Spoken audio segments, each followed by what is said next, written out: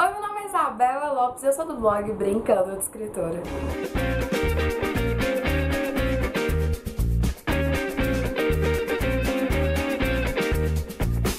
Hoje eu tô nesse clima assim meio carnavalesco e eu acho que é meio óbvio o motivo.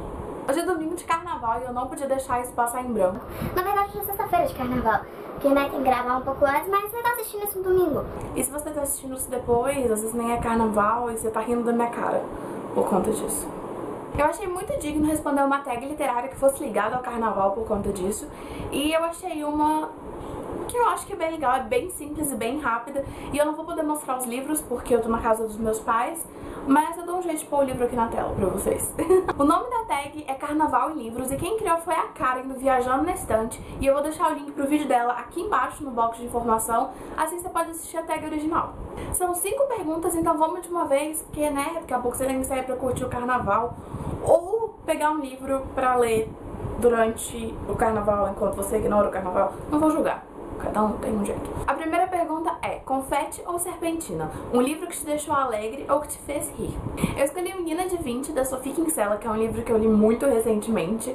E eu simplesmente adorei o livro. Teve alguns porém no sentido de cenas que não precisavam ter, mas o livro é muito divertido, assim como todos os outros da autora que eu li. A Sophie Kinsella tem um humor muito gostoso, é um livro muito leve de ler e são muitas risadas no livro, tipo assim, sério.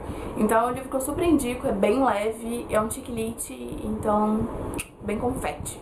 Eu queria ter confete, assim, pra jogar pra cima. Mas o problema de confete é que eu tenho que limpar o escritório depois, e isso não é uma boa ideia.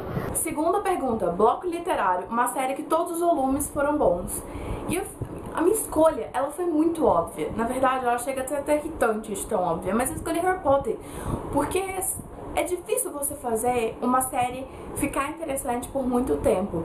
Chega um determinado momento que os personagens cansam, ou que a autora ou o autor não tem uma ideia muito legal para continuar. E a J.K. Rowling conseguiu escrever sete livros que prendem o leitor do começo até o fim. E são sete livros com conteúdo, são sete livros que te dão vontade de ler. Então, pra mim, é a melhor série que tem e é o melhor bloco literário. Terceira pergunta: Sambódromo, o melhor livro do seu gênero preferido. Eu escolhi Belo Desastre. E minha mãe tem Belo Desastre aqui, então eu daria pra mostrar. Mas vamos variar um pouquinho. E Belo Desastre, em comparação aos outros da autora, nem é o melhor na minha opinião. É o meu favorito, mas não é o melhor. Então, o melhor do meu... Isso, Isabela, quebra? Então, o melhor do meu gênero favorito, que é atualmente o New Adult, é o Walking Disaster, que no Brasil ficou como Desastre Iminente, que é da Jane Maguire e que é o livro Belo Desastre pelos olhos do Travis. Pra mim é o melhor dos New Adults que eu li até agora. Métrica também é muito bom, mas Walking Disaster, tipo, a mente do Travis é muito gostosa de ler, então... E tinha que ter o Travis, né, gente? É carnaval, mas tem que ter o Travis. Trio Eu perdi a conta, acho que é quatro. Trio Elétrico, um livro tão bom que te fez virar a noite lendo. Se você acompanha o blog, as resenhas que eu posto no blog, esse trem tá esquentando meu pulso pra caramba, é, você sabe que eu faço muitas loucuras literárias nesse sentido de virar a noite lendo. Se o livro é bom, eu não tenho noção de horário. Isso é muito errado, não façam isso crianças, porque faz mal pra saúde. Mas eu não tenho essa noção de tempo quando o livro é bom.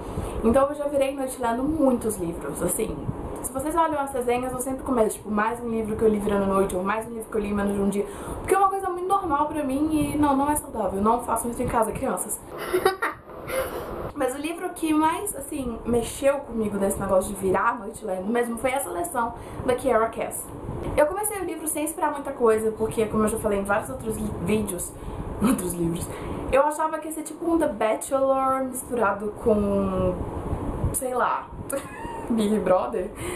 The Bachelor é meio Big Brother. Enfim, eu achava que ia ser uma coisa muito bizarra e eu amei o livro. O primeiro livro é definitivamente meu favorito da trilogia Seleção. E eu comecei a ler ele. Eu, eu adoro ler à noite, basicamente eu leio à noite. Por isso que eu viro tanto à noite lá. Mas eu comecei a ler ele quase meia-noite e eu fui parar mais ou menos às 8 horas da manhã, sem dignidade, com sono. E uma amiga minha tinha acordado às 8 para sair, porque ela tinha uma coisa pra fazer. E minha defesa foi de sexta pra sábado. E ela entrou no meu quarto, na época que eu ainda dividia casa com, com algumas amigas. Ela entrou no meu quarto, olhou pra minha cara e falou: Isabela, diz que não. Diz que você não virou a noite lendo que você tá indo dormir agora.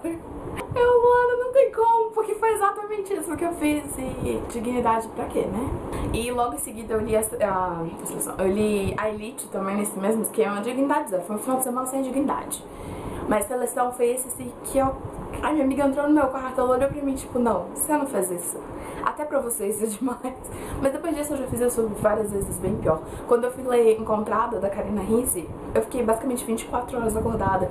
Porque eu tinha acordado cedo pra trabalhar, passei a tarde trabalhando, aí fui pra faculdade, aí li o livro e dormi tarde, acordei cedo, foi... Não façam isso. E a última pergunta, que eu acredito que seja de número 5. Faço letras, sei números. Frevo literário, o melhor livro que você leu nos últimos tempos. Isso é muito difícil de responder, porque eu li livros muito bons, assim, de forma geral e... Ano passado eu li 50 livros, e esse ano eu já li 6, 7, por aí. Então é complicado de escolher livro de tantos livros. Faz sentido? Foi muito difícil escolher e, assim, não tem como, eu li livro muito bom, livros muito bons ano passado. E esse ano eu também já li livros muito bons. É muito injusto perguntar para um leitor qual o seu livro favorito. Qual o melhor livro que você leu nos últimos tempos? Porque normalmente a gente tem muitas respostas para dar. Porque tem um livro que encaixa melhor no que a gente está passando, um livro que encaixa melhor no momento que você está, um livro que encaixa melhor no dia, em que momento. É, é complicado. Mas eu tentei escolher e eu fiquei em dúvida entre dois. Eu fiquei em dúvida entre Métrica, da Colin Hoover, e Perdida, da Karina Risse. Fiquei muita dúvida, são livros que são bem diferentes, mas que são muito bons igualmente. E Métrica eu pensei porque é um livro genial. Se você não leu Métrica Slam, fica a dica. É um new adult muito bom da Colin Hoover. Na verdade, tudo que a Colin Hoover escreve é bom. Mas o mesmo serve pra Karina. E, e aí que entra Perdido, porque é um livro estupidamente bom. E o que me fez escolher o livro para essa categoria, para essa pergunta, foi um fator que eu já vou falar. Escolhi Perdida, entre Métrica e Perdida, porque o nível é igual de, assim, é muito bom os dois livros, é isso que eu posso falar. E eu escolhi Perdida porque o que pesou na escolha foi que ele é um livro brasileiro. E cara, a literatura brasileira, no sentido de New Adult, Young Adult, até pouco tempo atrás era muito pobre. Não muito pobre porque os autores não eram bons, muito pobre porque as editoras não acreditavam nos autores. As editoras continuam acreditando muito pouco nos autores brasileiros. É, eu já recebi respostas de editoras que foram muito maquiadas e vim falar que não aceitam originais de autores brasileiros, e isso me chocou muito. E é por isso que eu escolhi Perdida, da Karina Risse, porque o livro é, muito, é um pacote completo. É um livro muito bom, é uma autora brasileira e ela conseguiu provar e jogar na cara da sociedade que autores brasileiros conseguem escrever em nível internacional. E acreditem nisso, sabe? Que é um livro muito bom sério. E é isso, eu espero que vocês tenham gostado. Muito obrigada por perderem um pouquinho do tempo do carnaval de vocês pra assistir meu vídeo. Se você não curte muito carnaval, então espero que você tenha curtido o vídeo, pelo menos nesse clima. E agora você pode voltar pra sua maratona de leitura, ou de filme, ou de série, não tô julgando. e se você curte o carnaval, curte com cuidado, curte com consciência das coisas que você tá fazendo, porque o carnaval acaba e a vida continua. eu nunca fui muito fã de carnaval, mas eu adoro sair durante a tarde pra ir nos bloquinhos de criança com a minha filhada, porque eu sou uma eterna criança. eu acho que dá pra ver, né? Porque eu sempre incorporo o que eu tô fazendo. Se você gostou desse vídeo, não esquece de vir aqui embaixo. Eu não sei se eu tô apontando no lugar certo, porque eu tô sem o espelho hoje atrás da câmera. Mas é desse lado aqui.